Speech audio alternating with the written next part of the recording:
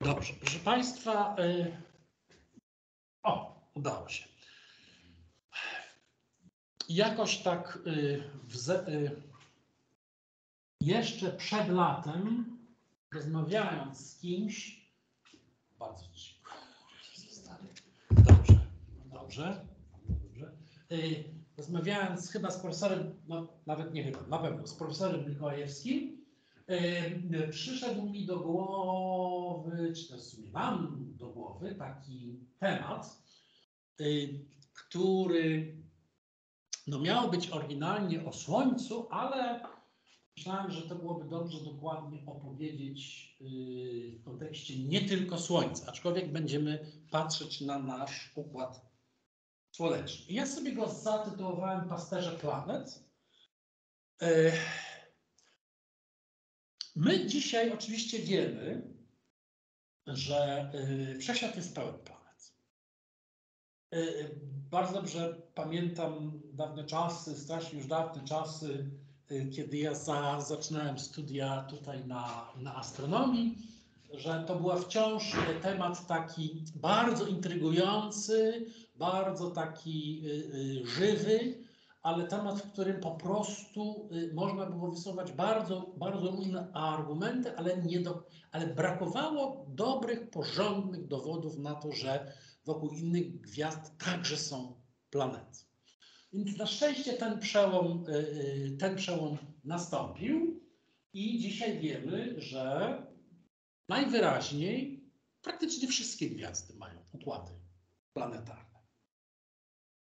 W związku z czym ta sytuacja, którą, na którą myśmy przez długi czas patrzyli właśnie y, na, na nasz układ, na układ słoneczny, nie jest w żaden sposób sytuacją wyjątkową jako taką. Wokół różnych gwiazd krążą planety. Ale jednak y, mimo wszystko, y, mimo wszystko, te gwiazdy oczywiście są bardzo różne. Może by tak coś przeskoczyło? Dobrze. okej. Te gwiazdy są bardzo różne i Słońce jest tylko i wyłącznie jedną z takich, z takich gwiazd. I te gwiazdy są zawsze najbardziej istotnymi elementami danych układów planetarnych. Pierwszym, najważniejszym obiektem w danym układzie planetarnym jest gwiazda. Jest gwiazda. No ale gwiazdy od siebie bardzo się różnią.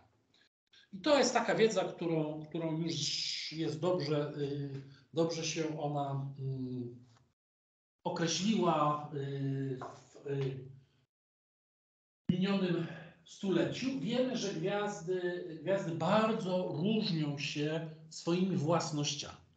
Czyli i zarówno temperaturą warstw powierzchniowych, szalenie potrafią różnić się mocą promieniowania. Są ogromne różnice. Tak? Mamy zarówno gwiazdy, które świecą znacznie słabiej niż Słońce, jak i gwiazdy, które świecą o wiele, wiele jaśniej niż yy, Słońce. Również rozmiary mogą być różne. Te gwiazdy oczywiście mają pewien swój cykl życiowy. Jak Państwo czytali albo mm, y, byli na naszych wykładach, to Państwo nieraz słyszeli o tym, jak, jak gwiazdy zmieniają się w trakcie swojego istnienia. One nie zawsze są takie same, mimo że jak patrzymy na niebo, to w trakcie naszego życia widzimy, no, po prostu takie, jakie były, takie wciąż zwykle są. Rzadko, rzadko widać, chociaż można zobaczyć, że gwiazdy niektóre potrafią się, się zmienić. Bardzo często mówi się o tym, że Słońce jest taką jedną z bardzo przeciętnych gwiazd drogi mlecznej. To jest, y, to jest tylko do pewnego stopnia, prawda?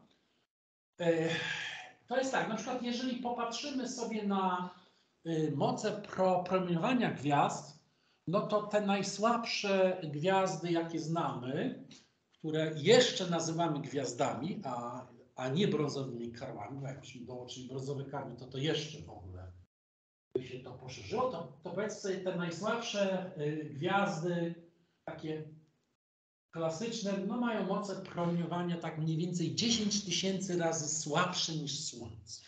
10 tysięcy to jest, to jest dużo, to jest cztery rzędy w dół. Ale z kolei te najjaśniejsze y, potrafią mieć moce promieniowania nawet i 100 tysięcy razy większe niż Słońce. kolosalne moce. Bardzo proszę. Kolosalne moce pro, promieniowania. E, Więc rzeczywiście, jak się patrzy na ten zakres, to rzeczywiście wydaje się, że no Słońce jest z grubsza gdzieś tam w środeczku, prawda? Gdzieś tam w środku.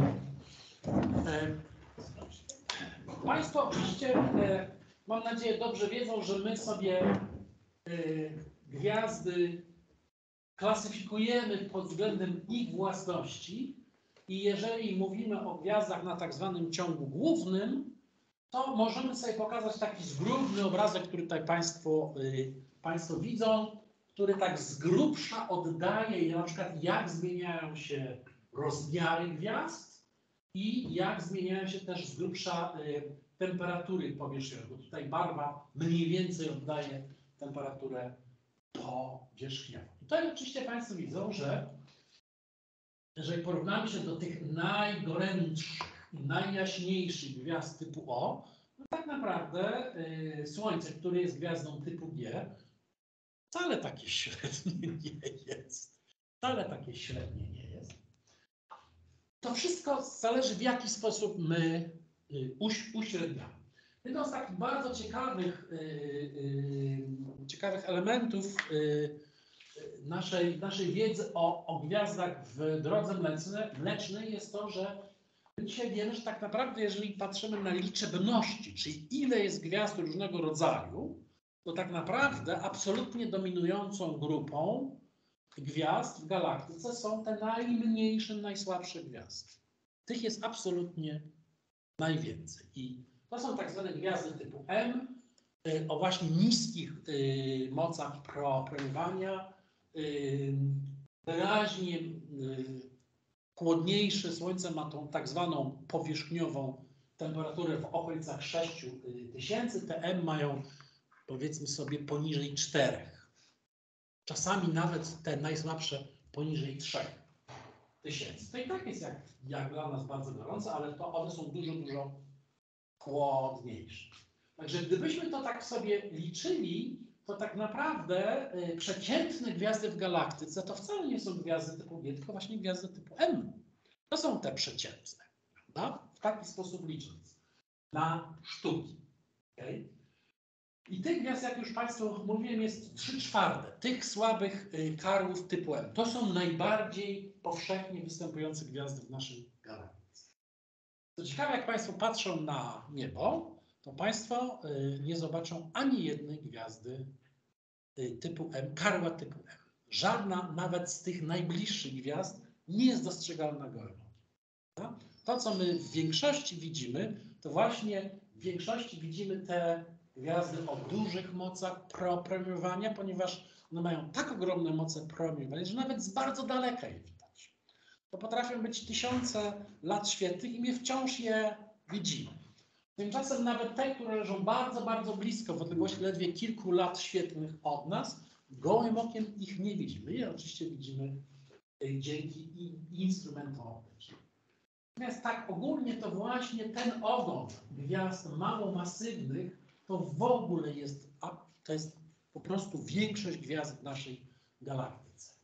Te bardzo, bardzo masywne, one owsz, y, i y, gwiazdy o, o dużych mocach promieniowania także oczywiście w galaktyce są, ale to jest naprawdę niewielki procent, naprawdę niewielki. Tak, biorąc y, typy od M do F, to one stanowią już praktycznie 99% gwiazd naszej, naszej galaktyki. Także Gdybyśmy sobie tak wyobrazili, że kiedyś będzie nam dane sobie tak podróżować po galaktyce od układu do układu, to będziemy sobie po, podróżować w większości od M do M, może od M do K, czasami trafimy na G, tak jak Słońce. Prawda? Czyli dużo, dużo to będą przede wszystkim te, te gwiazdy.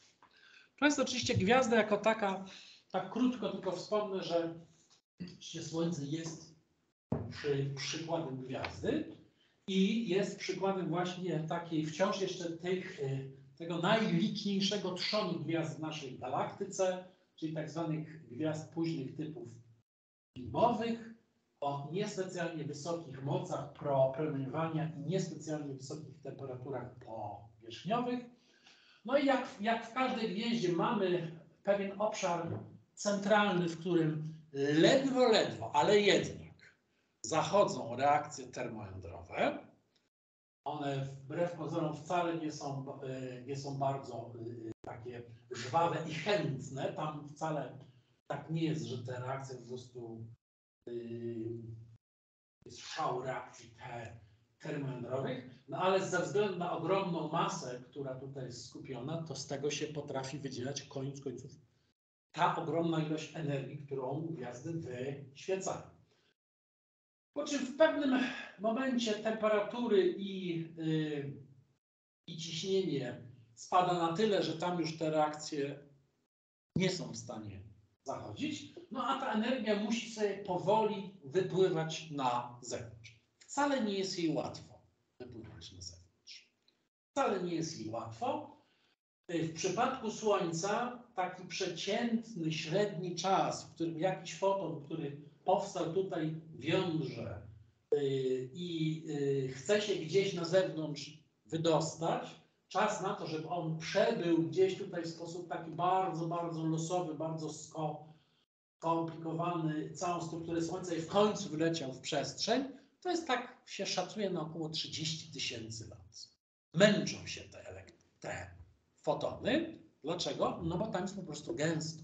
One owszem gdzieś tam sobie biegną, ale po prostu momentalnie już tak mniej więcej na skali jednego centymetra napotykają jakąś przeszkodę w postaci y, y, jądra atomowego. Są pochłaniane, emitowane na, na, na nowo, ale już w innym kierunku. Stąd ten ruch takiego fotonu jest bardzo chaotyczny i koniec końców on wcale, on statystycznie rzecz biorąc, z biegiem czasu przesuwa się na zewnątrz, ale są i na pewno takie fotony, które bardzo, bardzo dużo czasu spędzają we wnętrzu Słońca, zanim się w końcu dostaną do tych zewnętrznych warstw i będą mogły zostać wyświecone. Bardzo ciekawą cechą tych gwiazd późnych typów jest to, że tu y, w zewnętrznych warstwach, tam gdzie temperatury już dość istotnie spadają, stają się takie w okolicach mniej więcej pół miliona stopni, materia staje się bardzo mocno nieprzezroczysta, czyli krótko mówiąc fotonom tutaj jest szalenie trudno się przebić. Okay? Że tutaj jeszcze jakoś błądzą, ale tu na zewnątrz im jest bardzo trudno się przebić. Dlatego w tych zewnętrznych warstwach włącza nam się jako efektywniejszy, chociaż wcale nie jest szalenie efektywny, ale nagle efektywniejszym sposobem transportu energii jest zwykła konwekcja. Znaczy, krótko mówiąc, yy, yy, ta energia jest tutaj prze, przenoszona w postaci ciepła. Ta mocno nagrzana materia wędruje sobie do powierzchni gwiazdy, no i dopiero potem tutaj może sobie, y, mogą sobie te fotony znowu y, uciekać. Tak jest na Słońcu, tak jest praktycznie dla tych wszystkich typów, o których ja tutaj Państwu wcześniej powiedziałem, że one stanowią w istocie 99% gwiazd naszej galaktyki, czyli to od tego M do powiedzmy sobie F. Okay? To, są, to są tak znakomita większość gwiazd naszej galaktyki wygląda. Proszę Państwa, oczywiście gwiazdy, y, nawet te najsłabiej świe, świecące, są kolosalnymi źródłami energii. One wyświecają ogromne ilości energii, mimo tego, że we wnętrzu gwiazd w istocie te reakcje termojądrowe, to one tak się trochę ledwie tlą, ale to jest tak wielka masa, że tam naprawdę tej, tej, tej energii wydziela się dużo, w związku z czym podstawową, e, e, podstawowy wpływ, jaki, jaki gwiazda ma na otoczenie, to oprócz oczywiście pola grawitacyjnego, to jest pole promieniowania, które ona wytwarza wokół siebie. I to pole jest potężne. Pole jest bardzo, bardzo potężne. Warto zwrócić uwagę na to, bo jak człowiek takie rzeczy szczególnie dobrze czuje latem, jak jest gorąco i człowiek się wystawi na działanie słońca. O, wtedy to czuć. wtedy to czuć, że wbrew pozorom yy, ta moc pro, nie jest wcale taka słaba. Nie jest wcale, wcale taka słaba. Do Ziemi, proszę Państwa, dociera zaledwie jedna dwumiliardowa tej energii, którą całe Słońce wydziela. Zaledwie jedna dwumiliardowa. Ziemia jako taka jest dość małą planetą. Wcale nie jest planeta specjalnie duża, a na, na dodatek my jesteśmy w odległości aż 150 milionów kilometrów od Słońca. Też nie jest taka bardzo mała odległość. I dopiero na tej odległości ta ilość energii no, jest dla nas y, znośna, a nawet korzystna. Warto o tym wiedzieć, że im bardziej byśmy się do Słońca zbliżali, tym więcej tej energii byśmy wy, y, otrzymywali. I na przykład taki, taki bardzo y, dobrze dzia, działający europejski, y, e, europejska misja Solar Orbiter, która y, krąży mniej więcej wokół Słońca trzy razy bliżej niż Ziemia, około trzech, trzech razy bliżej, to, to ona się nagrzewa do temperatury kilkuset stopni Celsjusza. Kilkaset stopni Celsjusza to nie jest temperatura dla elektroniki. I to w ogóle jest temperatura niespecjalnie dobra dla dużej ilości materiałów. W związku z czym ta misja jest za specjalną tarczą, która przechwytuje ten, ten strumień, wyświeca go z powrotem. Tam jest tak zbudowana izolacja, żeby misja, która jest za tą tarczą, nie nagrzewała się zbytnio. Jeszcze większe wymagania ma słynny Solar Parker Probe, który ma w planach zbliżyć się dużo, dużo bliżej i tam naprawdę y, na, y, na tej przedniej ścianie osłony te termicznej, tam, tam spodziewamy się temperatur powyżej 1000 stopni Celsjusza. Okej, okay, może być Celsjusza. To są, to są straszne ilości.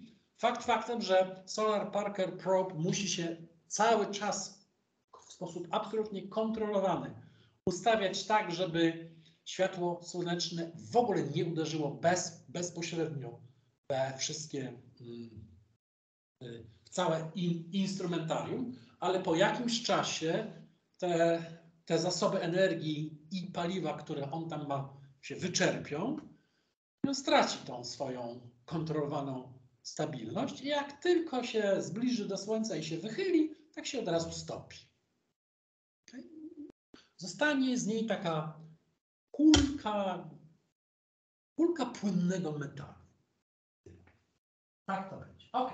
Proszę Państwa, fakt faktem, im jesteśmy bliżej, tym więcej energii od Słońca dostajemy. Im jesteśmy dalej, tym mniej.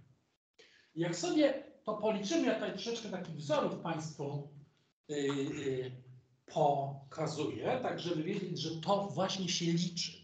To się liczy. Okay?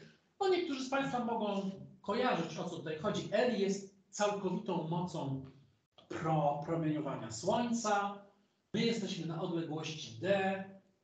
Niech to będzie obiekt kulisty, który taki obiekt kulisty jest w stanie z tego strumienia energii wyłapać taką część, y, taką część tej, tej właśnie e, energii i oczywiście będzie się nagrzewać. Ale ponieważ się nagrzewa, to też sam zacznie wyświecać tą, tą, tą energię. No i jak niektórzy z Państwa mogą pamiętać, bo takie rzeczy nawet w liceach są wciąż jeszcze, y, no to tutaj można się odwołać do na przykład prawa Stefana Boltzmana, napisać ile tej energii z kolei będzie, tak, taki obiekt będzie w stanie wyświecać. Jak sobie to przyrównamy, czyli poszukamy tej równowagi, w którym momencie to, co dostajemy od Słońca i to, co sami jesteśmy w stanie wyświecić, nam się zrówna, to pojawia nam się właśnie taki bardzo ładny wzór, który nam mniej więcej pokazuje, do jakiej temperatury powinny nagrzewać się ciała które znajdują się właśnie w takim polu pro, promieniowania gwiazd. No i tutaj mamy różne takie po, potęgi, ale w razie tu jest moc promieniowania, a tu jest odległość. To spada z pierwiastkiem odległości. Jakościowo to jest dokładnie to, co, co mówiłem wcześniej, czyli im dalej, tym, tym jest niższa temperatura, czyli więc im jesteśmy bliżej gwiazdy, tym jesteśmy, nagrzewamy się do wyższych temperatur, a jak dalej, to do niższych. Jak sobie tutaj weźmiemy moc promieniowania Słońca i tą odległość, na której znajduje się Ziemia, to dostajemy sobie taką temperaturę, która tak, to jest tak z grubsza plus 5 stopni, y, plus 5 stopni Celsjusza. Tak od biedy, od biedy pasuje do tego, co jest tutaj na, na Ziemi. Spróbujmy to zrobić dla, dla innych y, obiektów w naszym układzie słonecznym. I ja Państwu pokazuję taki rysunek, gdzie y, tutaj mamy temperaturę, a tutaj odległość od Słońca. Natomiast tymi kropkami to są pozaznaczane y, planety. Planety dokładnie w naszym układzie słonecznym. Merkury, Wenus, Ziemia, Mars, Jowisz, Saturn, Uran, Neptun. Okay? Te dwie skale są logarytmiczne, bo tak naprawdę tutaj bardzo mocno się zmieniają y, y, wartości, przede wszystkim odległości, również całkiem mocno y, zmieniają się wa, wartości te temperatur, ale na takich skalach logarytmicznych pewne zależności łatwiej można zobaczyć. Niektóre rodzaje za zależności łatwiej można zobaczyć. Ta linia prosta to jest dokładnie to, co ja tam wcześniej napisałem. To jest ten wzór. Okay? Państwo widzą, te planety są w okolicach tej linii prostej. Y, Ziemia i Mars to tak bardzo ładnie tutaj leżą.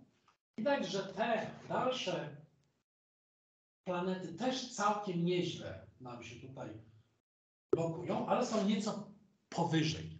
Czyli są jakby troszkę cieplejsze niż to by wynikało z tamtej za zależności. Najbardziej odstaje nam drugi obiekt w naszym układzie słonecznym, czyli Wenus. Wenus nam to ewidentnie odstaje, prawda? Średnio się tutaj nam nas słucha. Wenus wymaga oddzielnego zastanowienia się. Okay? Ale proszę Państwa, jak Państwo widzą, to, to co ja wcześniej pokazałem, jest już całkiem rozsądnym opisem tego, jak zmieniają się warunki termiczne dla różnych ciał, które w różnych odległościach krążą wokół danej gwiazdy. To jest akurat wprost Słońce, ale to może być, możemy sobie tam wstawić inną gwiazdę i zastanowić a to jak to będzie wyglądało, y, kiedy ze Słońca prze, przeniesiemy się na tą gwiazdę i na jej układ pla planetarny, albo na tą gwiazdę i na jej układ pla planetarny.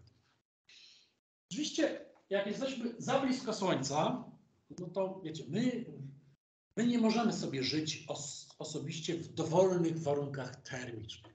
Jak jest za gorąco jest źle, jak jest za zimno też jest źle. My mamy pewien, pewien obszar tem, temperatur, w których y, jesteśmy w stanie rozsądnie funkcjonować. I taki obszar bardzo często nazywa się tak zwaną ekosferą. Y, To jest obszar, który, o którym my zasadniczo możemy powiedzieć, że y, to są temperatury, które potencjalnie sprzyjają, sprzyjają y, funkcjonowaniu tych postać życia, które my znamy. Są jeszcze jakieś inne, ale te, które my znamy. Okay?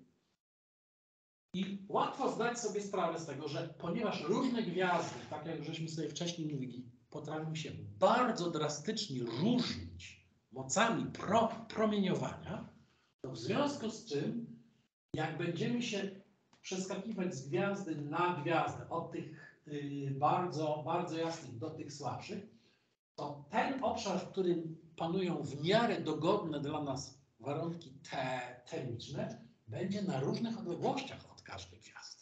okej? Więc w przypadku Układu Słonecznego, w, w przypadku Słońca, my jesteśmy z grubsza tam, gdzie trzeba. okej? Jesteśmy tutaj odległości 150 y, milionów kilometrów i to jest dobrze. Ale jak pójdziemy sobie do tych słabych gwiazd, które mają dużo słabsze moce pro, promieniowania, to ta ekosfera będzie, będzie wo- wokół tych gwiazd, ale znacznie, znacznie bliżej. One będą dużo, dużo ciaśniej, prawda? Te, te dobre warunki. A jak sobie z kolei prze, przejdziemy do gwiazd, które mają wyraźnie większe moce pro, pro, promieniowania, tam też znajdziemy takie warunki, tylko na większych odległościach. Okay? Będziemy musieli się trzymać bardziej na dystans. Okay? To jest dość łatwe do, do, e, do jakby takiego intuicyjnego, e, intuicyjnego e, wyczucia, no bo w zależności od tego, jak piec dobrze pali, to na takiej odległości albo na mniejszej, albo na większej będziemy się od tego pieca trzymać, prawda? Tak, przy takim zwykłym ognisku to z reguły sobie stoimy blisko, ale blisko pieca hutniczego nie staniemy. No wszyscy.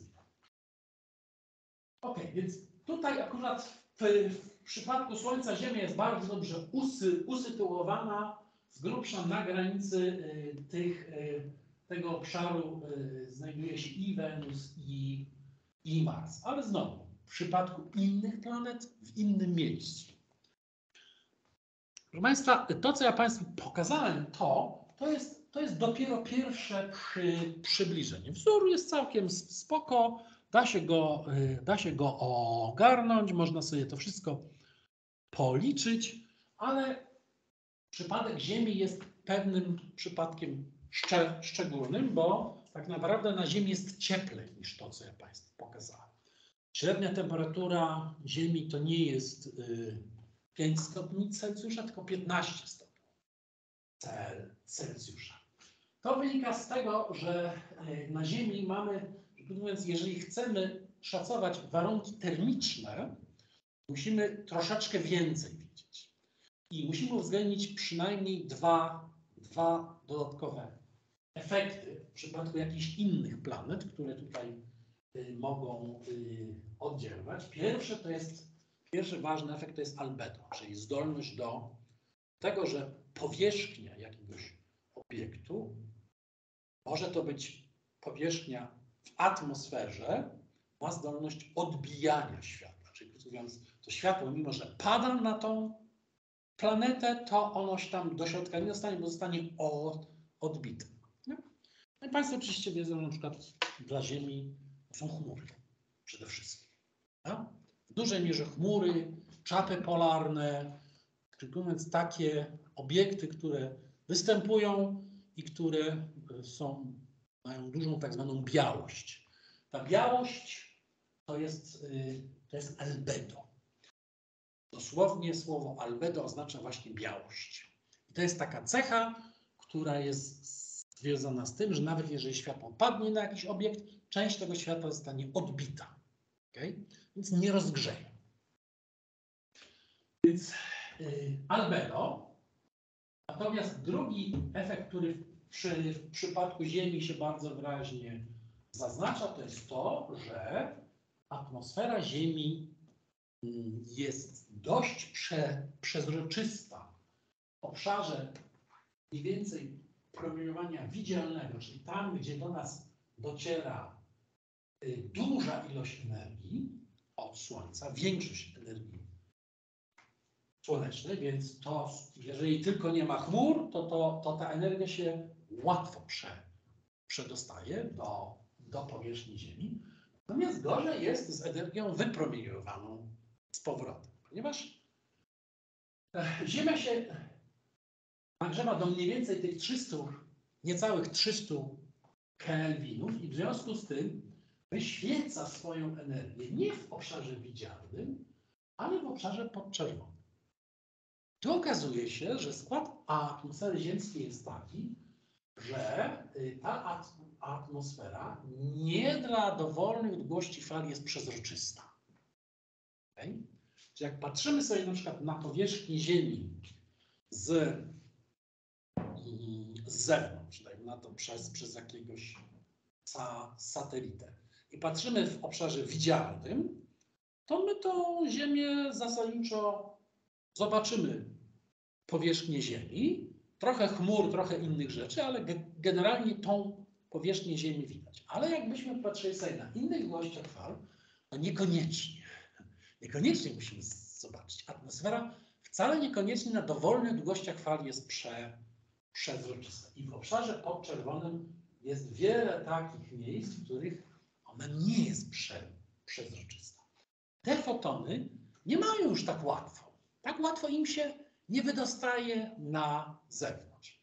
Z czym ta energia tych fotonów jest przytrzymywana i my to, to, to skutkuje czymś, co my nazywamy efektem cieplarnianym, czyli mówiąc, y, Ziemi jest nieco trudniej y, oddać tą, tą e, energię, w związku z czym tam są pewne wahania, temperatura się nieco podnosi, tak żeby to zoptymalizować i żeby ten, ten bilans ca, całkowity y, nam się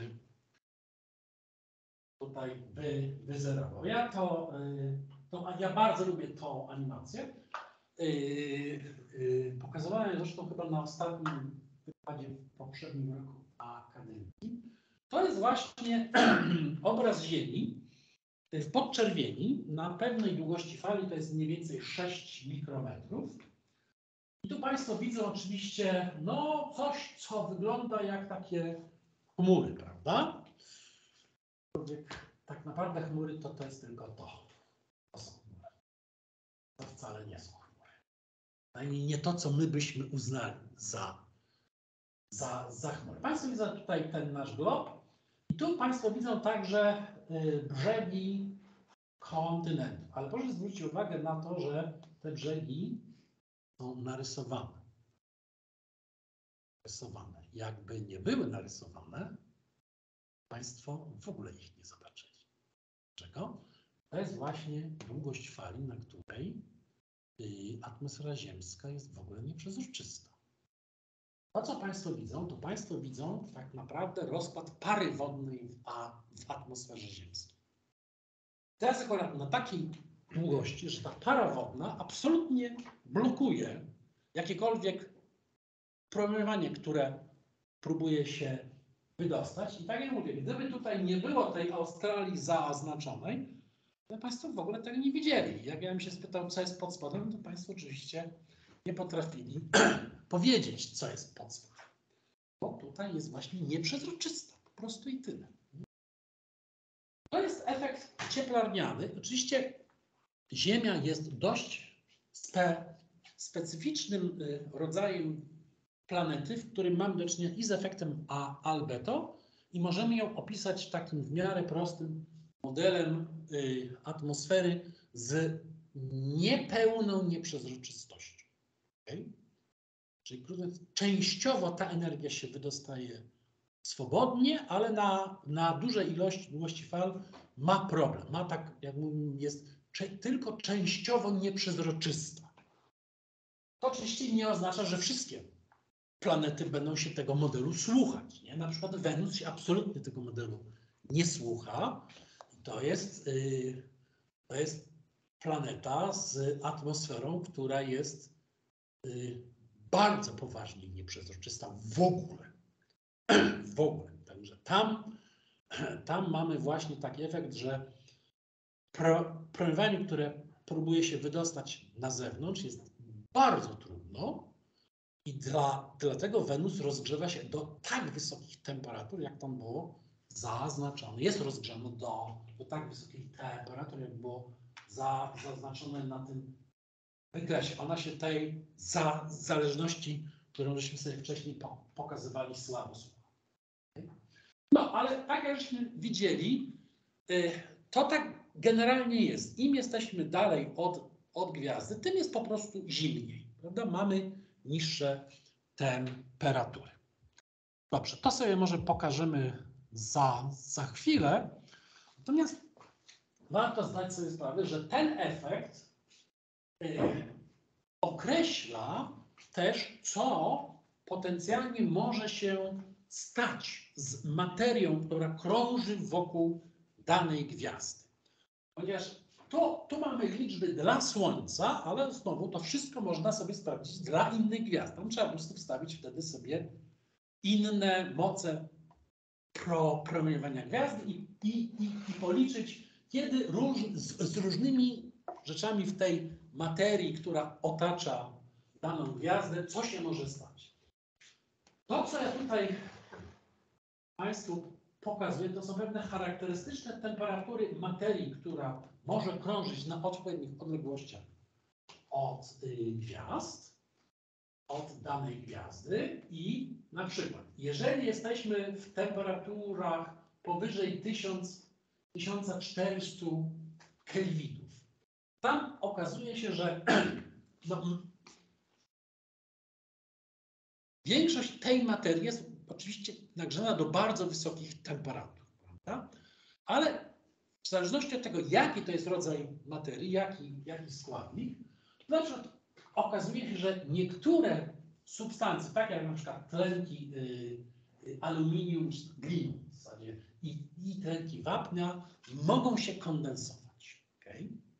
Mogą zacząć stanowić pewien rodzaj pyłu w, tym, w tej nagrzanej Jak nam temperatura nieco spadnie, to w ogóle na przykład krzemiany, krzemiany magnezu i aluminium także mogą się zacząć ko kondensować. Również metale mają prawo do tego, żeby przechodzić z postaci gazowej w postać ciekłą bądź e ewentualnie stałą. E, natomiast jeżeli chodzi o takie substancje, które są bardzo, jak my to mówimy, lotne, są wbrew pozorom bardzo powszechne we, we wszechświecie, tak jak na przykład woda, metan i amoniak, okay, te mogą się skraplać dopiero wtedy, kiedy temperatura osiągnie wystarczająco niską, niską wartość. To akurat te liczby, które tutaj Państwo są bardziej są, tutaj widzą, są bardziej charakterystyczne dla metanu i amoniaku. Woda ma troszeczkę, już się skrapla w wyższych temperaturach. Okay. Bo już tam prawie jak zejdziemy sobie trochę poniżej 400 kelwinów, to, to, to już ta woda jest w stanie się, się, się skarwać. A to, ta segregacja chemiczna, bo to proszę zwrócić uwagę, kiedy patrzymy na ziarna pyłu, to w, w zależności od tego, w którym miejscu jesteśmy, jak blisko jesteśmy gwiazdy, to mamy taką chemiczną segregację. Inne związki zaczynają tworzyć pył prawda, mogą się y, kondensować. Tylko łatwo y, zdać sobie sprawę z tego, że jeżeli myślimy sobie o, o y, odległościach niewielkich od gwiazd, to głównym elementem budulcowym planet, które tam mogą powstać, będą na przykład metale i krzemiany. Głównym elementem budulcowym będą metale i krze, krzemiany, ale na dużo większych o odległościach już mogą być na przykład te bardzo lekkie substancje lotne. Jak sobie odpowiednio daleko o, odejdziemy, to nawet i wodór. Okay? Nawet i, i.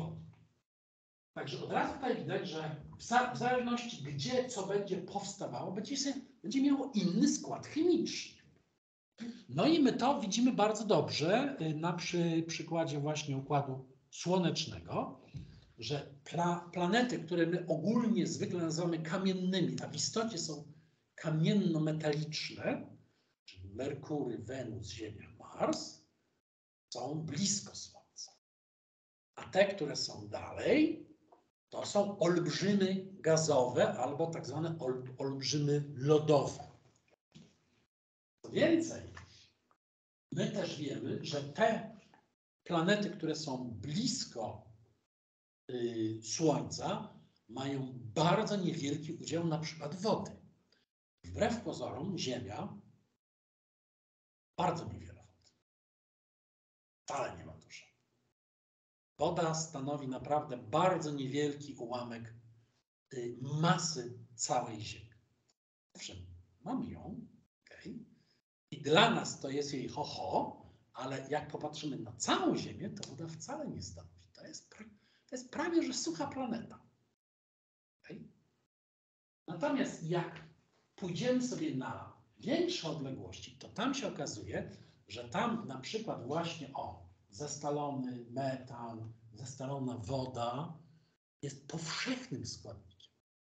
I takimi łatwo, y, łatwo dostrzegalnymi dla nas y, o, obiektami, które spełniają właśnie taką własność, są na przykład komety. Okay? Znowu, kometa jak jest daleko od Słońca, ona jest zestalona. No tam ma jakąś te temperaturę, ale naprawdę bardzo, bardzo niewielką i ona właśnie dzięki temu, że porusza się po o orbicie bardzo eliptycznej, bardzo wy, wyciągniętej, to tylko wtedy, kiedy się wystarczająco zbliży do Słońca, nagrzeje, wtedy zaczyna uwalniać te wszystkie substancje lotne i my widzimy, że wokół coś mknie, a wokół niego jest otoczka gazowa. No? To, co nazywamy kometą. Jak kometa, jak ona jest blisko Słońca, to ona rozwija tą otoczkę gazową i później jeszcze ewentualnie tak, tak zwany warkocz. Ale znowu jak się oddali, to znowu to wszystko ginie. Nie ma. To nie jest tak, że komety zawsze mają otoczki gazowe i zawsze mają warkocze. Jak się wystarczająco oddalą od Słońca, to te wszystkie otoczki nam po prostu zni znikają. Okay? Znikają. Dobrze. Proszę Państwa, e, taką drugą bardzo ciekawą cechą jest właśnie zdolność do utrzymywania otoczek gazowych. W ogóle, zdolność do utrzymywania otoczek gazowych. Czyli, krótko mówiąc, atmosfery planet. Jak, jak y, my wiemy, patrząc znowu na nasz układ słoneczny, że wiemy, że są planety, które mają ewidentna atmosfera, ale są także takie obiekty, które, czy też nawet całe planety, które praktycznie tej atmosfery nie mają. Okay? Z czego to się bierze? Otóż, proszę Państwa, to jest rzecz bardzo ciekawa i y, może nawet troszeczkę za, zaskakująca, ale gdybyśmy sobie wzięli taką sytuację, w której wszechświat trwa w nieskończoność i wiemy, czy tak będzie, czy tak jest w ogóle, to po prostu trwa w nieskończoność i tyle, nie? To okazuje się, że otoczki gazowe są w ogóle z definicji niestabilne. Nie? Czy krótko mówiąc, jakbyśmy mogli sobie tak trzymać otoczkę, taką atmosferę przy jakiejś planecie, to ta atmosfera wcześniej czy później by uciekła. Czego to się bierze? Bierze się stąd, że gaz składa się z ogromnej ilości bardzo małych cząstek. Akurat jeżeli chodzi o, o Ziemię, to są głównie molekuły azotu, dość istotny jest też tlen, dużo go jest dzisiaj. Dzisiaj go jest dużo, to wcale nie jest że zawsze tak. Tak było, ale dzisiaj jest też, też, też dużo tlenu, ale głównie w tej, w tej chwili to jest azot. Okay? Wszystko jedno, która, który, który gaz. I one się bez przerwy zderzają między sobą i ciągle wymieniają energiami. No bo powoduje, że one y, uzyskują pewien rozkład prędkości i w tym rozkładzie prędkości jest tak, że znakomita większość cząstek ma pewien dość w miarę dobrze określony zakres, w którym te cząstki mają te prędkości, ale mamy tutaj do czynienia z takim bardzo długim ogonem. Znowu w wersji klasycznej ten, to ten ogon jest praktycznie nieskończony. O, wiemy, że tam jest gdzieś w pewnym momencie robi się ograniczenie re, re, relatywistyczne, ale w tej, w tej chwili to sobie możemy zignorować. Okay? I y, w razie są tym gazie, który tutaj nas o, otacza, także cząstki, które mogą uzyskać bardzo duże prędkości. Znacznie większe. Wbrew pozorom w ogóle te prędkości, na przykład tego powietrza, które nas o, otacza, wcale nie są małe.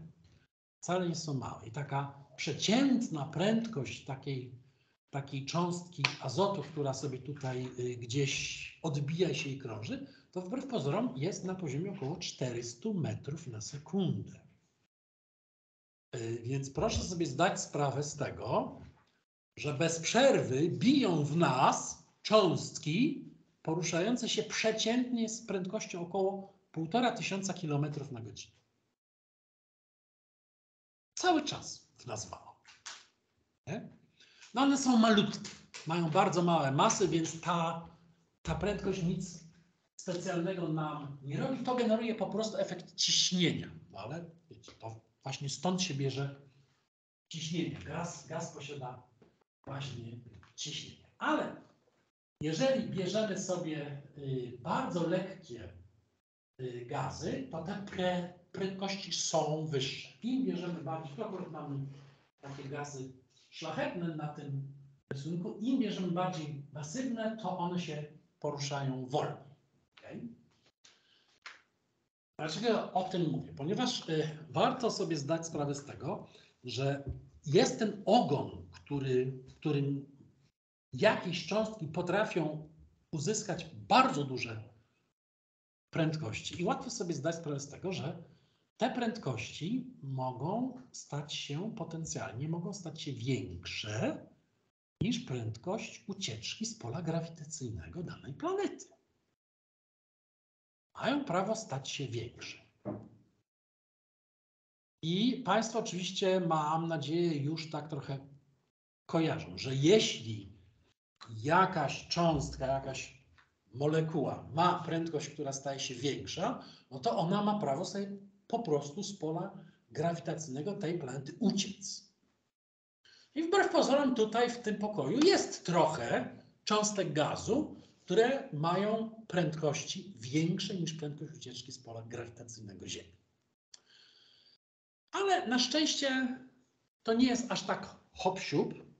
Dlaczego? Bo my jesteśmy tutaj w, w takim miejscu, gdzie y, po, powietrze jest naprawdę dość gęste już.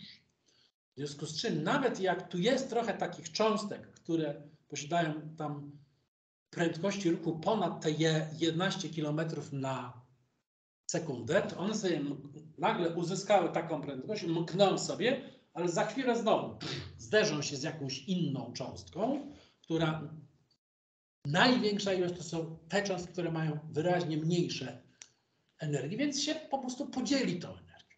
Okay? Więc one tu się ciągle zderzają, w związku z czym taka cząstka, która nawet tutaj dostanie taką prędkość, nie ma praktycznie żadnej możliwości tego, żeby po prostu sobie wziąć i swobodnie uciec z pola grawitacyjnego Ziemi. Natomiast ten proces staje się procesem w miarę istotnym wtedy, kiedy my wspinamy się w atmosferze i dochodzimy do atmosfery tak rzadkiej, że tam już cząstki się prawie z sobą nie zderzają. I tam, jeżeli tam dojdzie do, do takiej sytuacji, że nagle jakaś cząstka uzyska prędkość większą niż prędkość ucieczki, to ona tam ucieknie. Efekt jest taki, że powolutku to nie jest bardzo silny proces. Na przykład dla Ziemi to nie jest silny proces. Ale powolutku atmosfera sobie wycieka z pola gra, grawitacyjnego. Tu mam taki rysunek, który pokazuje, jak to jest w przypadku niektórych obiektów. To jest y, prędkość ucieczki z danego obiektu a tu jest średnia prędkość ruchu, czyli to o tutaj, gdzie jest to z grubsza, to maksimum. Okay? Średnia prędkość ruchu. Oczywiście ta konkretna prędkość zależy także od tego, z czego składa się dana otoczka gazowa. Z czego. Okay? I oczywiście to musimy popatrzeć, co tam wchodzi do tej atmosfery na danym obiekcie, co tam najczęściej wy, wy, występuje, ale e, w większości jest tak. Albo mamy te planety typu Ziemny, takie no bliskie Ziemi, gdzie tam będzie mm, azot, czasami tlen, bardzo często dwu, dwutlenek węgla, albo jesteśmy dalej dla, dla planet dużo, dużo większych, gdzie tam na przykład jest wodór i hel w większości. Nie? Trzeba to, to wziąć Tutaj tymi kwadracikami ja sobie pozaznaczałem różne obiekty. Ta typowa prędkość ruchu zależy także od tego, do jakiej temperatury człowiek, yy, przepraszam, nie człowiek, obiekt się nagrzeje, obiekt się nagrzeje i, i, i co tam wchodzi? Proszę zwrócić uwagę, tutaj mamy tak, tutaj jest sytuacja, w której średnia prędkość ruchu w danej, danej atmosferze jest dokładnie równa prędkości ucieczki. To jest atmosfera, która po prostu momentalnie się rozsypuje. Okay? Koniec. Od razu to wszystko się rozsypuje. No jak Państwo widzą, żaden z tych obiektów nie jest tutaj blisko. Nie? Żaden z tych, z tych obiektów nie jest tutaj blisko. Tu mamy linię, która nam mówi o, która nam pokazuje taką sytuację, gdzie ta średnia prędkość ruchu cząstek jest mniej więcej 5 razy mniejsza niż prędkość ucieczki. Okay? Tu, kiedy jest 10 razy mniejsza, tu, kiedy jest 20 razy mniejsza. Tu są takie małe cyferki, to ja będę mówił. Tu jest Ziemia. Tu jest Ziemia. Tu jest Wenus. Jesteśmy w okolicach tej jednej dwudziestej. Tu jest Neptun, a tu jest w ogóle Jowisz. Okay? To jest w ogóle Jowisz. I od razu tutaj widać, że to są akurat, to są takie obiekty, których spokojnie możemy powiedzieć, że ewidentnie posiadają atmosferę. Okay? Czyli tutaj ta średnia prędkość ruchu jest na, tak, tak mała względem prędkości ucieczki, że tam strasznie niewiele cząstek jest w stanie uzyskać te pre, pre, prędkości, które pozwalają na, na opuszczenie pola gra, grawitacyjnego. A tu mamy dwa inne bardzo charakterystyczne obiekty. To jest Merkury i nasz Księżyc. Okay? I tu Państwo widzą, tu jesteśmy w okolicach jednej piątej. Okay? No, Merkury to jest to niespecjalnie wysokie pole grawitacyjne, to nie jest duża planeta. No i jest bardzo blisko Słońca, czyli nagrzewa się do bardzo wysokich temperatur. Okay. Oczywiście e, zawsze Państwo mogą powiedzieć o tym, no ale one posiadają tam takie śladowe postacie. E, ale zróbmy sobie jakiś rozsądek, okay? że mają jakieś tam niby śladowe atmosfery, bardzo, bardzo szalenie śladowe. O tych y, obiektach możemy spokojnie powiedzieć, że po prostu atmosfery nie mają. Dzisiaj atmosfery nie mają. To nie znaczy, że tak było zawsze. Ale dzisiaj na pewno nie mają. Okay? Czyli jeśli kiedyś miały, to ta atmosfera już zdążyła uciec przez czas istnienia układu sło, słonecznego. Ten pociąg nam się bardzo wyraźnie tutaj ładnie, ładnie nam się tutaj pokrywa. Trochę dziwny wynik mamy dla Marsa. Bo zasadniczo dla Marsa wydaje się, że to nie jest dużo gorzej niż dla Ziemi i Wenus, a jednak Mars no, ma atmosferę, ale warto tu zaznaczyć, że ma atmosferę wyraźnie słabszą, czyli ponad 100 razy rzadszą niż atmosfera Ziemi. Okay? Sama atmosfera Ziemi i tak jest dość cienka i rzadka. To nie jest szalona atmosfera. To nie jest Neptun ani, ani Jowisz. No ale tutaj jakiś taki drobny, y, drobny, y, drobna niez, niezgodność tutaj y, jest i można by się zastanowić czemu. Proszę zwrócić uwagę, że pomimo tego, że Wenus nagrzewa się do bardzo wysokich tem temperatur, to atmosfera Wenus jest dość stabilna jest dość stabilna. To jest bardzo gorąca planeta. W sumie zwykle mówimy, że to jest najgorętsza pla planeta w Układzie Słonecznym. Dostaje dwa razy więcej energii niż Ziemia od, od Słońca, ale ta atmosfera jest bardzo porządna i bardzo stabilna. Dobrze, proszę Państwa, e, to pole energii, które nam tutaj, tutaj działa, nie jest jedynym źródłem energii, jaka pochodzi od Słońca, tudzież innych gwiazd. Szczególnie właśnie tych gwiazd późnych typów, których jest absolutnie najwięcej w galaktyce. Otóż wiemy, że znowu praktycznie wszystkie gwiazdy późnych typów filmowych, te 99% na pewno wykazuje zjawisko tak zwanego dynama magnetycznego możemy inaczej mówić, aktywności ma magnetycznej. Jest to związane z tym, że te gwiazdy nie rotują w sposób sztywny, wyglądając one się, y, one rotują w okolicach równika szybciej niż na biegunach. I ponieważ to jest materia dość mocno zjonizowana, to ona bardzo silnie oddziałuje z polem magnetycznym. I ta, ten, y, ta niesztywna rotacja powoduje, że z biegiem czasu na takich gwiazdach zaczynają tworzyć się bardzo silne pola magnetyczne. Na Słońcu tak się, tak się dzieje.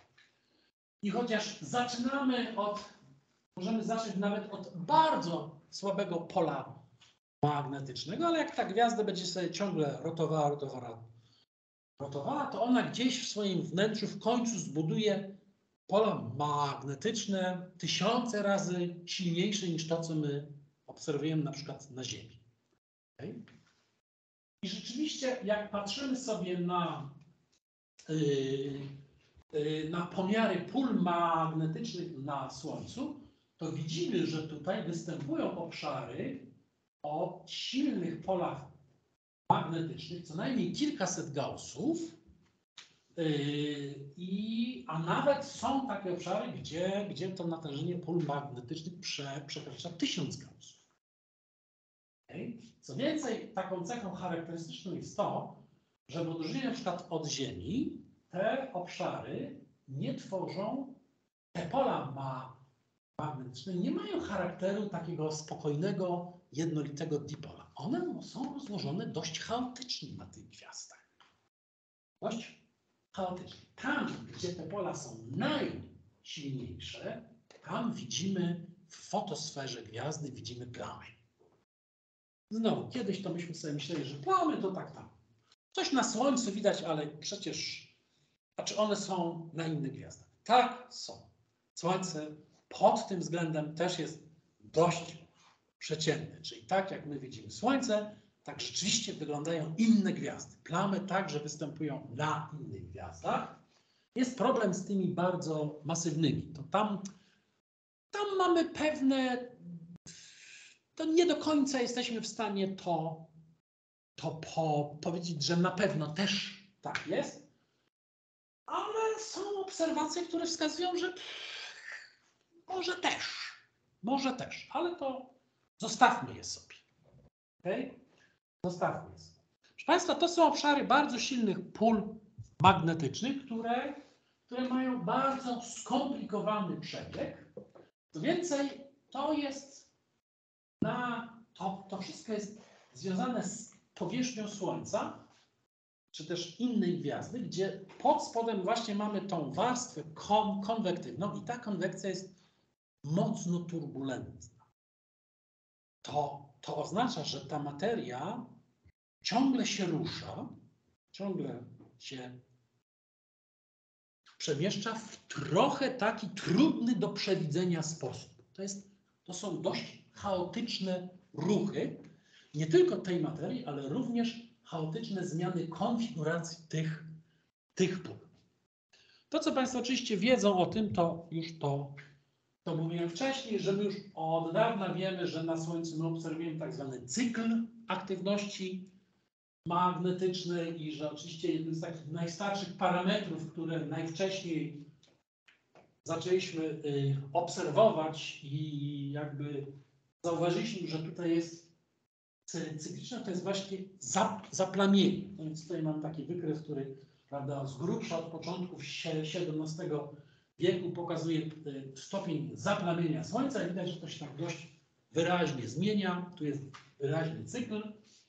To nie jest ścisła okresowość, absolutnie nie, ale cykl jest wyraźnie zaznaczony i średnia długość każdego z takich cykli to jest średnia. średnia. To jest właśnie te około 11 lat.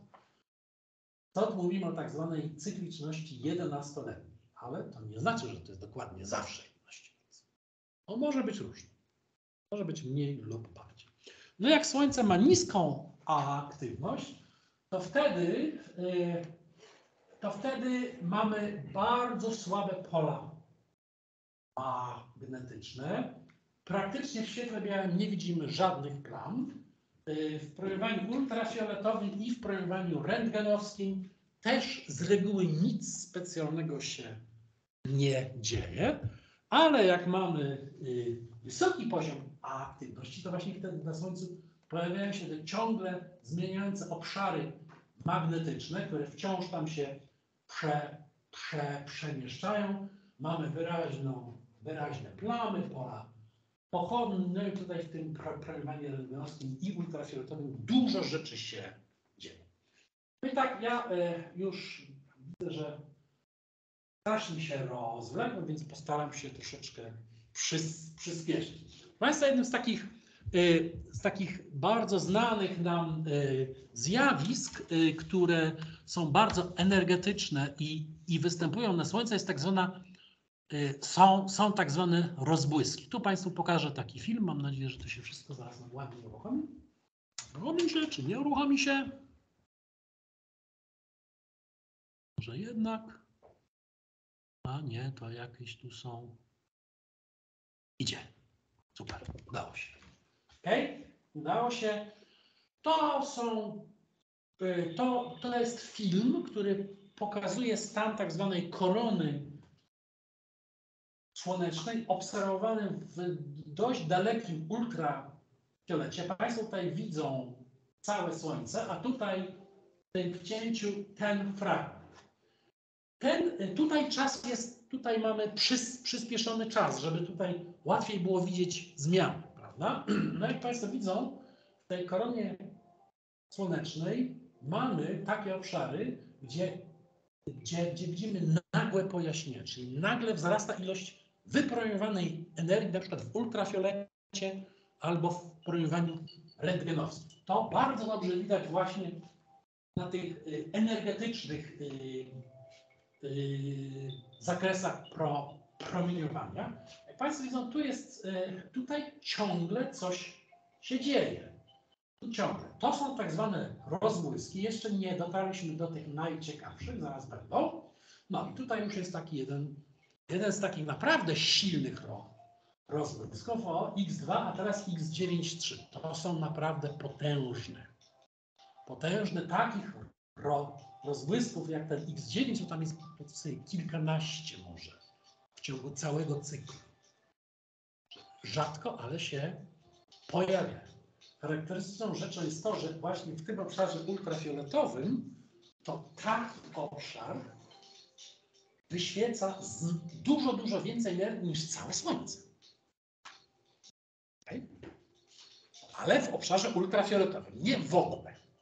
W obszarze ultrafioletowym. Tu mamy inny film na, dla, dla, dla innej linii, także tutaj jest troszeczkę będzie, będzie to, to inaczej widać, ale znowu, ten jeden mały obszar jest obszarem, w którym wydziela się ogromna ilość energii.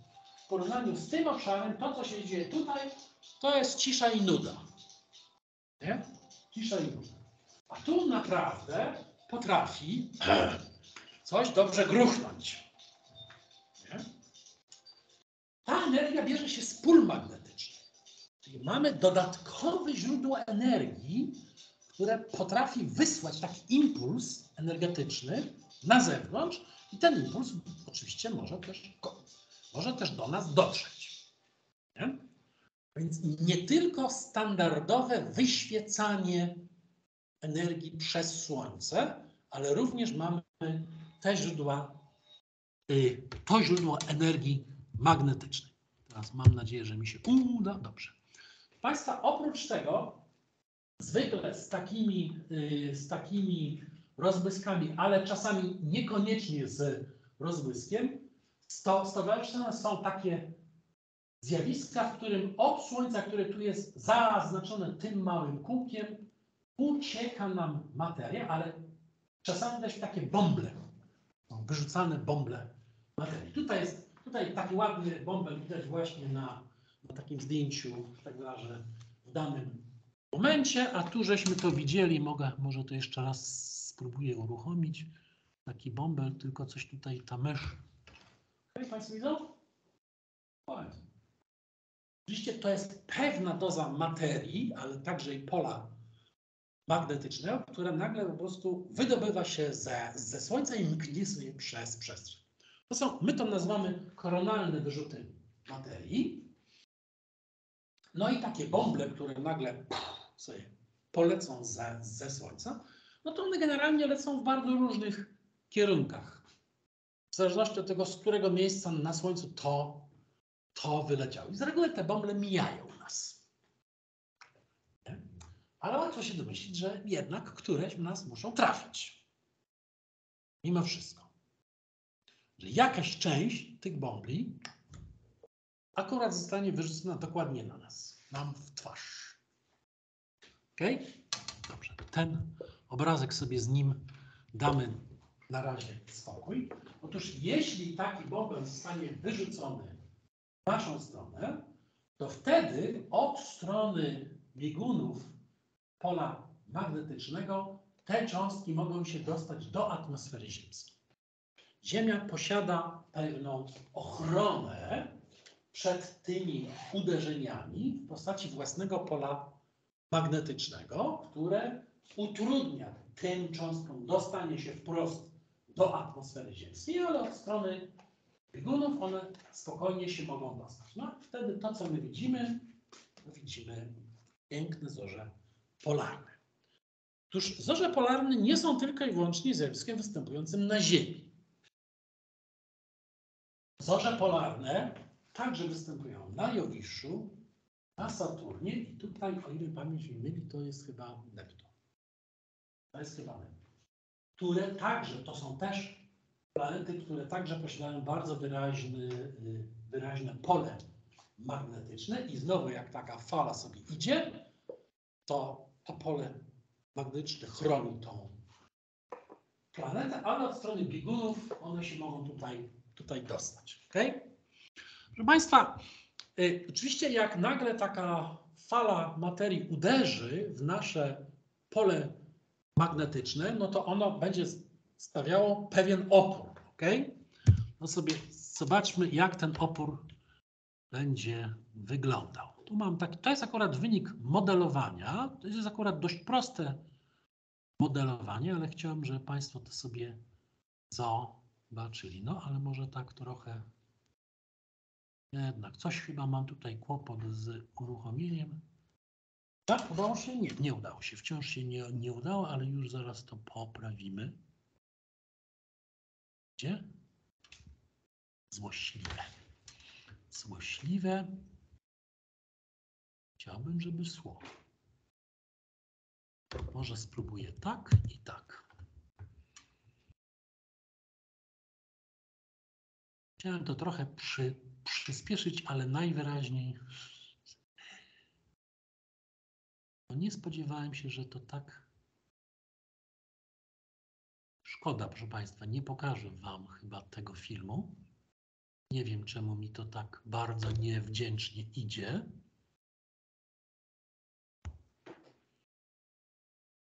A szkoda, bo to jest dobry film. Dobrze, proszę Państwa, y, oczywiście jak idzie taka fala, no to ona nam przygniata nasze pole magnetyczne. Ja się cofnę do pewnego rysunku po prostu. Trudno. Coś mi się tam, tam nie udaje. To to pole magnetyczne od strony Słońca jest przy, przygniecione, rozwija się troszeczkę bardziej z drugiej strony, no i to pole mag, magnetyczne nas ale my wiemy, tak jak Państwo już widzieli wcześniej, że takie różne wyrzuty masy mogą mieć mniejszą lub większą siłę.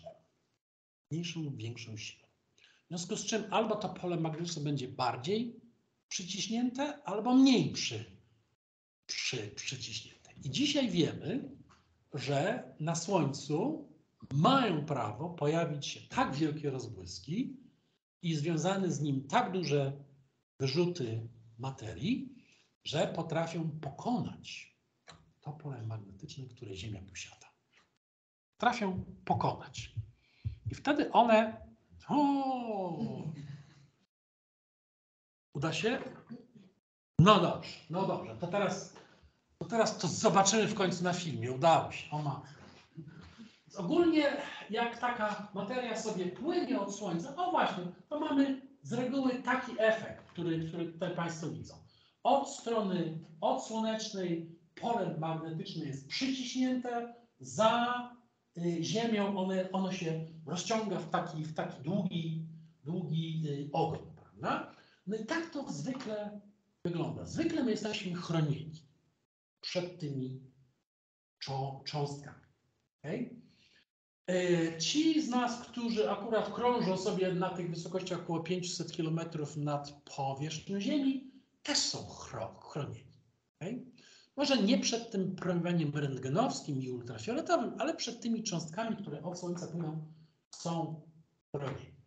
Ale, tak jak już Państwu po, powiedziałem, zdarzają się na Słońcu również tak silne zjawiska, że potrafią praktycznie rzecz biorąc tą magnetosferę ziemską, tak, y, użyję takiego obrazowego słowa, zdmuchnąć.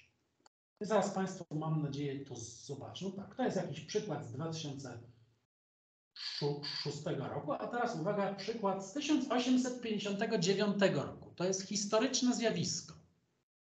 Jest to tak zwany rozbłysk Carringtona, w którym fala była tak silna, że praktycznie zmiotła nasze pole i te, te, to uderzenie dotarło wprost do atmosfery ziemskiej. Wprost. To jest dość rzadkie. Rozbłyski typu Carringtona o takich energiach na Słońcu zdarzają się, szacujemy dzisiaj z grubsza raz na 150 lat. Okay? Ale oczywiście mogą też być inne, silne, niekoniecznie aż tak silne jak Carrington, tych, tych jest więcej. Znowu, mamy takie doświadczenie szczególne z 1800, 1989 roku. To jest y, tak zwany blackout quebecki.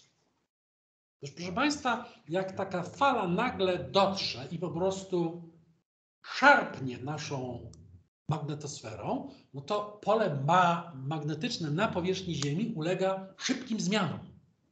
Okay? Tam się wszystko trzęsie. No państwo powinni pamiętać, że jak pole magnetyczne ulega szybkim zmianom, to co się robi? Prądy się indukują. W przewodnikach oczywiście. W przewodnikach indukują się prądy. Okay? Proszę Państwa, y, to jest y, wybrzeże Ameryki Północnej, które w nocy zwykle wygląda w taki sposób. Tutaj gdzieś jest ten yy, słynny Nowy Jork, tu mamy Chicago, to jest Toronto, tu chyba jest Montreal, tak mi się wydaje, ale y, wtedy w 1989 roku, jak ta fala dotarła, to w ciągu niecałej minuty ta, to nocne zdjęcie wyglądało tak. Wyglądało tak. Tu Państwo widzą wielkie jeziora za, zaznaczone. Jork spoko, Chicago spoko, ale tu wszystko strzeliło. To jest y, blackout właśnie w Quebecu, gdzie po prostu w ciągu dosłownie tam jakiejś minuty wysiadły całe sieci energetyczne. Po prostu się przepaliły. Okay? Przepaliły się i y, to kosztowało straszne pieniądze. Y, na szczęście udało się naprawić sytuację w ciągu 9 godzin. Okay? Że ten prąd zaczął wracać. Okay? Trzeba było. Ale Państwo widzą, taka burza magnetyczna i ten 89 wcale nie jest tą najsilniejszą historycznie, może wywołać takie, y, takie skutki. Takich wielkich burz magnetycznych było w historii Ziemi całkiem, całkiem dużo. Tu jest właśnie słynny rozbłysk Carringtona. Tu mamy ten, y, y, taką burzę z y, marca 89 roku, ale tu, proszę Państwa, jest więcej. Wiemy, że w 2012 roku Ziemia tylko musnęło, musnął taki koronalny wyrzut masy, który, który, y, który zasadniczo miał właśnie siłę tego zjawiska jak tutaj. No i nic się nam nie stało, bo nas tylko musnęło. Okay? Poleciało akurat bokiem. Nie trafiło dokładnie w nas. No ale wiecie, wcześniej czy później kiedyś znowu nas trafi. Kiedyś znowu nas, nas trafi. To jest w ogóle bardzo, bardzo poważne y, wyzwanie, ponieważ to nie są wcale aż tak rzadkie zjawiska i między innymi z tego względu my, y, my intensywnie y, patrzymy i próbujemy prognozować aktywność Słońca, żeby z odpowiednim wyprzedzeniem móc się przynajmniej w czymś zabezpieczyć. Jak Państwo sobie, bo dzisiaj już nie mam czasu, a to jest w ogóle sama z siebie bardzo fajna historia, ale poszukają na przykład, y, co się działo w trakcie rozbłysku Carringtona, albo co się działo na przykład w trakcie takiego zjawiska w 1921 roku, tam są bardzo ciekawe opowieści. Bardzo ciekawe o, opowieści. Ja tylko tak wspomnę, że mm, w 1859 roku to nasz stan cywilizacyjny był taki, że, że co najwyżej podziwialiśmy fantastyczne zorze polarne, które były prawie wszędzie na całej Ziemi widoczne. Ale już w XXI y, to już mieliśmy na przykład dobrą łączność transatlantycką i ona wysiadła. Tak, także to wbrew pozorom się zdarza.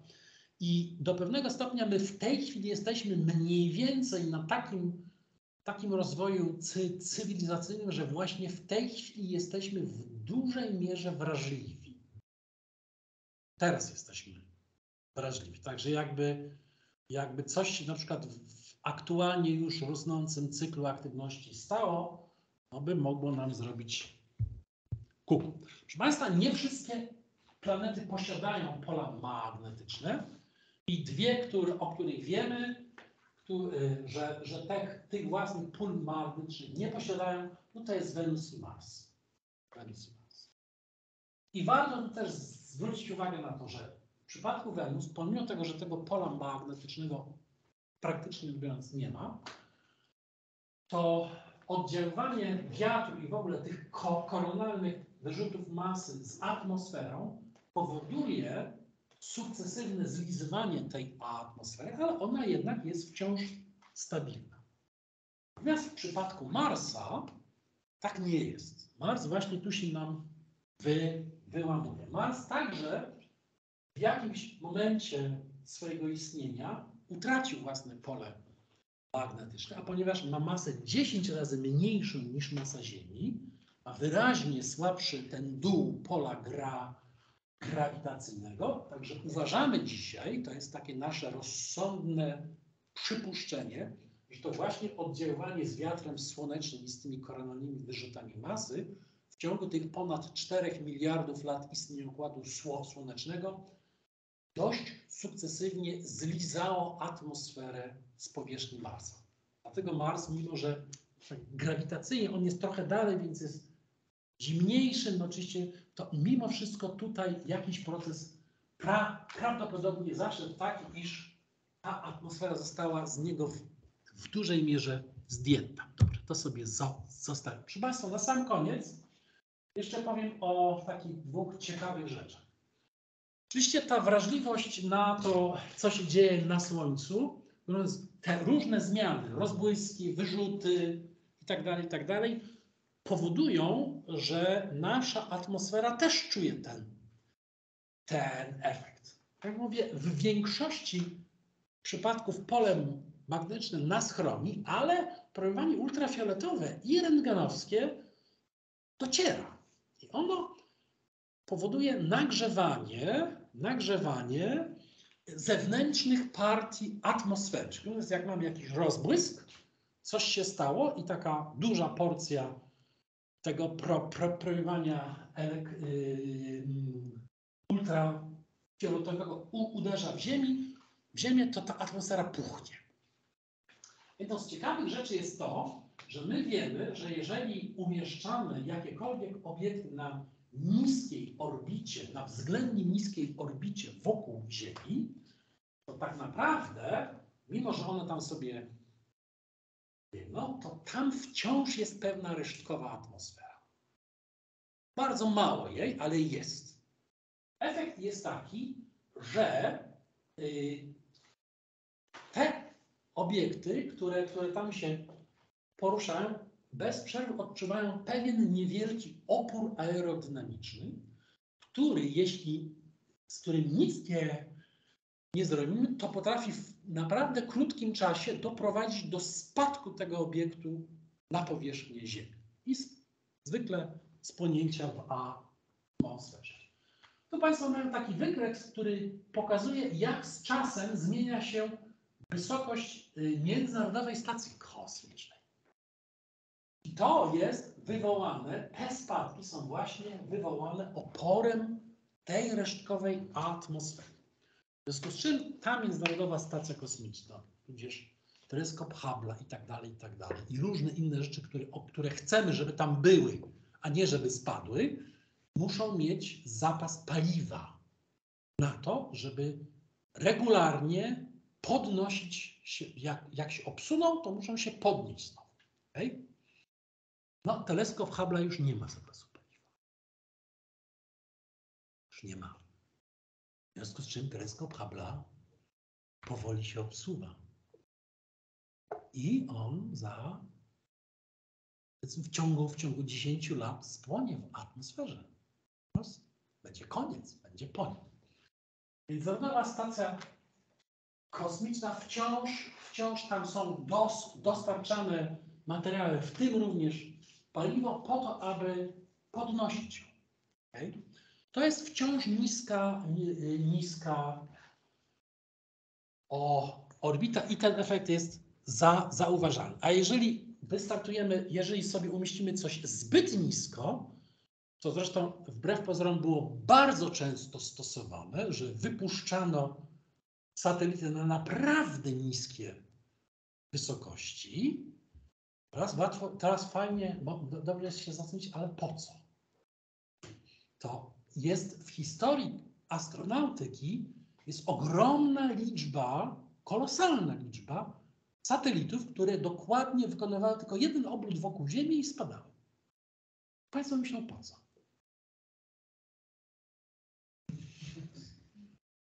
Y, to były oczywiście wojskowe satelity szpiegowskie. One, nie, one były wysyłane tylko po to, żeby zrobić jeden obrót i, i paść. Ale były wysyłane na taką orbitę, żeby akurat przeleciały nad tym obszarem, który trzeba, sfotografowały, przesłały i już więcej nas nie obchodzi. Ogromna to jest, proszę Państwa, jest kolosalna ilość, jak, jak wziąć tak sobie taką bazę danych, co kiedykolwiek poleciało, to Państwo zorientują się, że kolosalne ilości były wysyłane na bardzo niskie orbity, takie w, w okolicach tylko 100 kilometrów właśnie, czyli tak zwanej linii Karmana. Okay? Oczywiście y, biznesowo czy naukowo to jest lekko bez sensu, ale militarnie już nie. Militarnie już nie. Proszę Państwa, y, w lutym tego roku przydarzyła się taka historia. Jak Państwo wiedzą, firma Elona Muska rozwija nielubiane przez astronomów Starlinki. Okay. Czy ja to odpalę? Czy to się samo odpaliło? Nie, muszę to odpalić. Nielubiane przez nas idzie. Dobrze. Sta, Starlinki w lutym i ktoś tam coś sobie źle policzył. Tak. Akurat było tak, że jak one wystartowały, to zaraz potem się pojawił rozbłysk. W wyniku tego rozbłysku górna atmosfera Ziemi spuchła i kochane Starlinki, kilkadziesiąt tych Starlinków po prostu spłonęło. Nie wzniosły się na wyższą o orbitę i po prostu była strata. Okay? Jak mnie pamięć nie było tu bardzo pięknie widać taką prawda, całą kaskadę, prawda, palących się Starlinków, które sobie tam gdzieś ktoś, nie? A, człowiek myśli, tak. Bym się z Państwem zgodził. Bym się z Państwem zgodził. My nie jesteśmy takimi fanami tego projektu. Tak. Ja już nie chcę tutaj bardzo dużo mówić, ale ja sobie wyobrażam, że być może kiedyś będziemy rozwijać taką akcję zdejmowania tych stron. E, tak, Że może, że może to nie jest. I proszę Państwa, oczywiście to była, to była strata.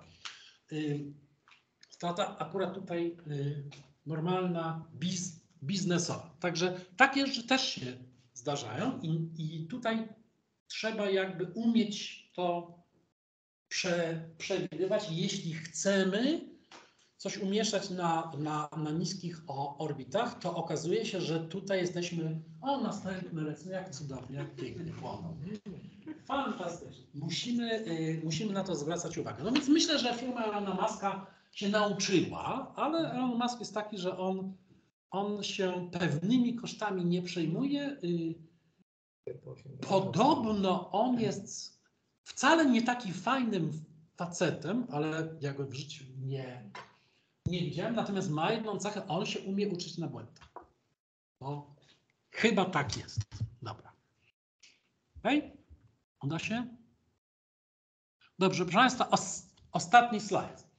Ten temat w ogóle, jak gwiazdy wpływają na to, co wokół nich jest, jest strasznie szeroki. Jak ja sobie zacząłem to zgłębiać, ile tu jest wątków, to stwierdziłem sobie, to jest cały wykład semestralny, by tu można było mówić. Okay?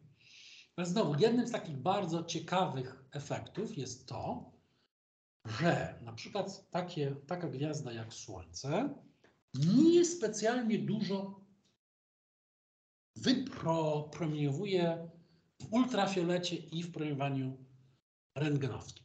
Trochę daje, owszem, ale nie specjalnie dużo.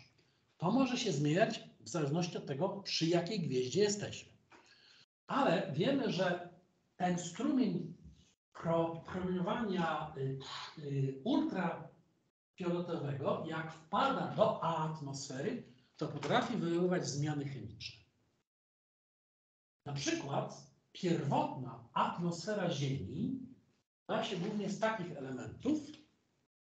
Proszę zwrócić uwagę, że tutaj na liście Państwo tlenu nie znajdą. Okay. Był azot, ale było bardzo dużo dwu, dwu, dwutlenku węgla. Był także amoniak, był także metan. Okay. Dzisiaj metan stanowi stosunkowo niewielki do dodatek. Y, amoniaku praktycznie w ogóle nie ma tej atmosferze. Natomiast pojawił się oczywiście nowy gracz, którym jest tlen.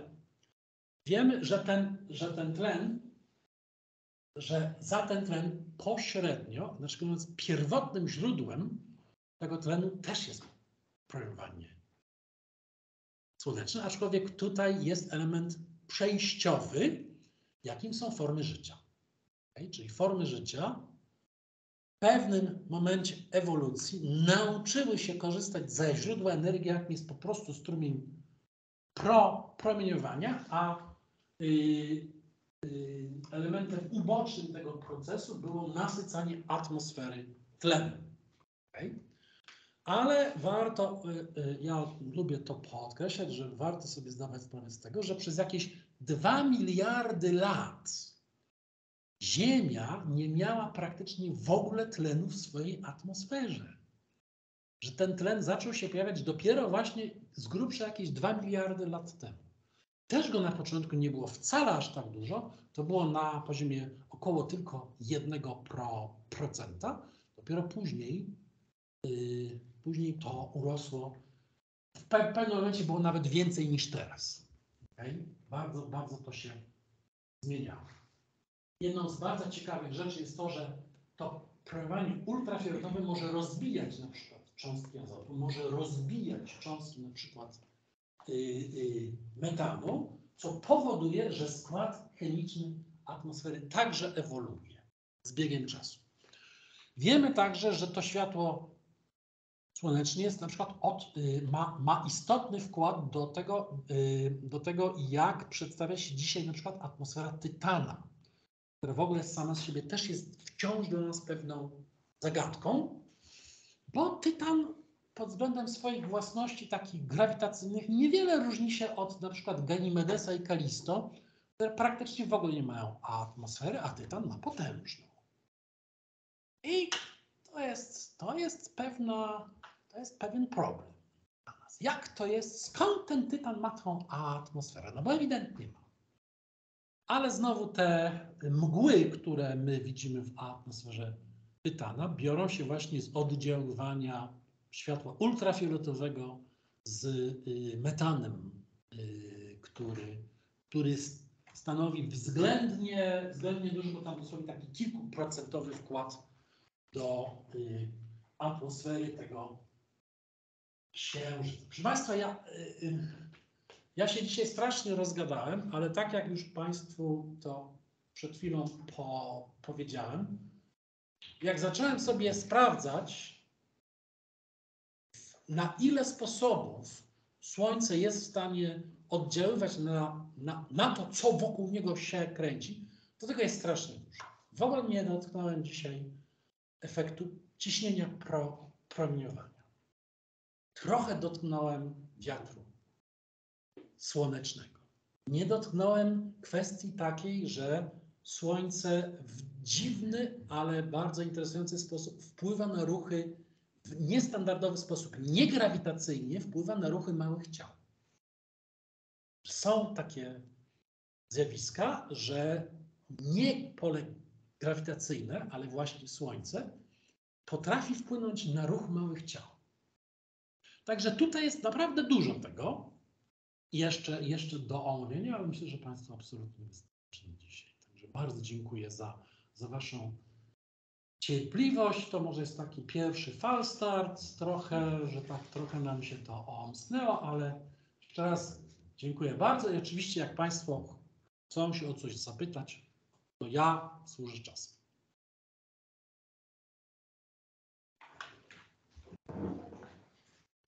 Ja też będę rozumiał, jak Państwo stwierdzą, że są zmęczeni i Wam wystarczy. Y, od razu też powiem, tam y, są uranie, a tutaj mamy takie y, broszury związane z, ze zjawiskiem zanieczyszczenia światła. Państwo chcą, można brać. Żaden problem. Przepraszam, ja mam jeszcze pytanie a propos właśnie wykładu. Jak to wszystko, co Pan powiedział, ma się do tytułu wykładu, pasterze planet? Tak, pasterze, ponieważ Słońce, Słońce definiuje to, jakie te pla, planety są, w jakim one są, są w stanie, a nawet z biegiem czasu powoli zmienia ich własności. Słońce zmienia. Ja może tak dodam jeden rysunek, który tak teraz przemknął w pewnym momencie, bo stwierdziłem, że chyba prze... Ale, ale zwrócę Państwu uwagę, bo ja oczywiście w większości mówiłem o, o Słońcu jako takim przy, przykładzie, ale proszę zwrócić uwagę, ja tutaj się to ciach, ciach, ciach, ciach, ciach, ciach, ciach. Był taki rysuneczek, gdzie ja po prostu mknąłem i tyle. Stwierdziłem, że tu jest za, za dużo. No, ten, o ten. To jest taki rysunek, który pokazuje, jeżeli bierzemy gwiazdy różnych typów, tu akurat są, są typy widmowe, gdzie znajduje się gro promieniowania danej gwiazdy. I to ma ogromny wpływ na bardzo wiele parametrów, w tym również na te określania, w jakim stanie będą się znajdowały planety krążące wokół, wokół danych gwiazd. I na przykład te najpowszechniejsze tarły typu M prawie w ogóle, jeżeli chodzi o ich całkowitą ilość energii, bardzo niewiele wypromieniowują w, w obszarze widzialnym, ale ogromną ilość w podczerwieni. To ma kolosalne znaczenie, jeżeli na przykład analizujemy, w jakim stanie termicznym będzie atmosfera planety krążącej na takiej, a nie innej o odległości. Z kolei jak idziemy do tych gwiazd bardziej masywnych, które są bardzo gorące, to tam z kolei znakomita większość pro, yy, jest wyświetlona w ogóle w. Tam głównie ultrafiolet oświetla te, te obiekty, czy to są komety, czy planety, czy księżyce itd., itd. I to też będzie miało bardzo istotne znaczenie w tym, jak te ciała będą ewoluować w czasie. Mówiąc, układ układ planetarny wokół jakiejś gwiazdy nie jest tworem stałym, stabilnym i w ogóle niezmiennym. Planety przez cały czas ulegają pewnym zmianom i również dotyczy to Ziemi. Ziemia, którą dzisiaj znamy, jakbyśmy mogli na tą Ziemię popatrzeć właśnie na przykład te 2 miliardy lat temu, to byśmy w ogóle nie poznali. Absolutnie nie byłaby ta Ziemia, która jest teraz. Okay? I najprawdopodobniej za miliard dwa to też nie będzie taka Ziemia. Tu te, te, wszystkie, e, te wszystkie obiekty bez przerwy się zmieniają. Oczywiście w tej chwili to są zmiany dość powolne. Na samym początku one były dynamiczne.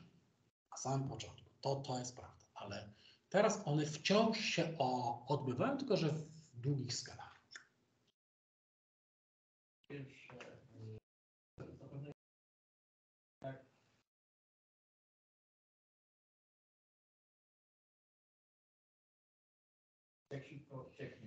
Tak.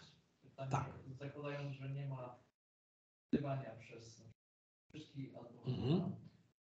dodatkowego atmosfery. Tak. To przy tym stosunku takim ziemskim, czyli 20, To są, to są długie czasy i trochę ja teraz y, niestety z pamięci, a miałem sobie to sprawdzić. Miałem sobie to sprawdzić, ale to są czasy w, du, w dużych miliardach lat. W dużych. Dla, dla Ziemi. Natomiast dla na przykład gazowych olbrzymów to są jakieś kolosalne długości czasu. ta tabelka Mhm, kondensata, tak. Czyli to ona w ten sposób jak przebiega Tak, y, to nam daje pewien taki wgląd y, proces genezy planet, bo dużo łatwiej jest y, sobie zakumulować pył niż, niż gaz. Ale jeżeli tej materii wys- wystarczająco dużo, no to i gaz się potrafi a, akumulować i generalnie myśmy, y, myśmy zanim zaczęliśmy zbierać informacje o innych układach planetarnych, to, to nam się tak wszystko fajnie układało. Nam tak po prostu wychodzi, że no dobrze, no to y, planety skalisto-metaliczne blisko gwiazdy, a wielkie, wielkie olbrzymy dalej od gwiazdy, gdzie jest zimno. Nie? I one tam sobie mogą się akumulować i tak dalej, bo to jest żaden problem. Tam nawet wodór da się złapać w, po, po, y, w pole gra, grawitacyjne. I część z Państwa pamięta, że pierwszymi planetami, które żeśmy odkrywali wokół tak zwanych normalnych gwiazd, wykluczając case Wolszczana i Freyla, to, to się okazały tak zwane gorące olbrzymy, których w ogóle w naszym układzie nie ma. Prawda? I to było strasznie poważne pytanie, że to się nam w ogóle nie zgadza, prawda? Że olbrzymie planety gazowe powinny być daleko od gwiazd, a nie przy samych gwiazdach. A tutaj nagle to były te pierwsze, które myśmy odkrywali, bo zresztą te akurat było odkryć najłatwiej.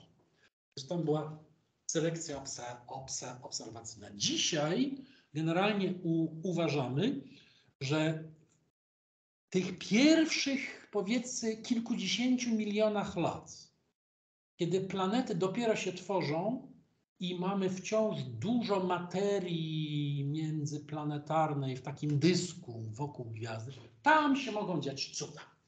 Dynamicznie.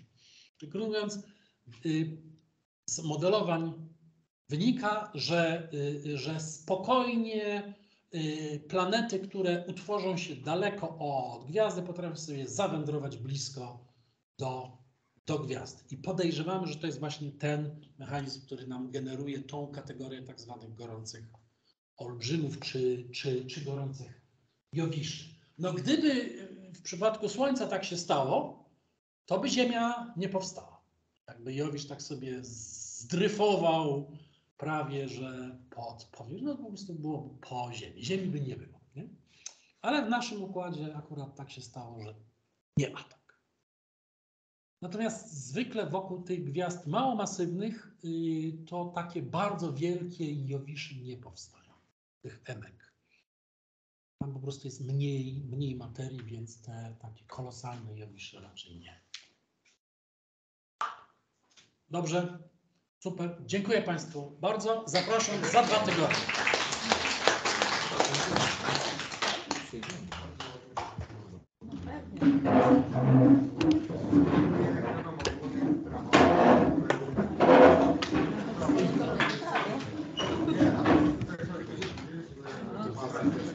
Nie, nie, jest laikiem, to można posłuchać.